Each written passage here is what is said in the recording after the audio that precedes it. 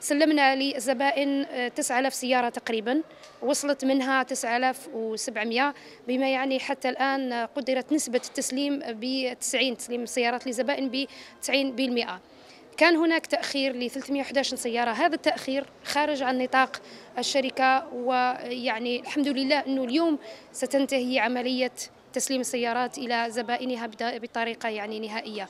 شير الجزائر أيضا آه، لها الفخر في أنه لدينا 44 وكيل معتمد عبر كامل التراب الوطني. يرجع ذلك الطلب المتزايد على علامتنا وعلى سياراتنا سواء من طرف الزبون الجزائري وكذلك المتعاملين الاقتصاديين الذين يرغبون في الاستثمار في هذا المجال.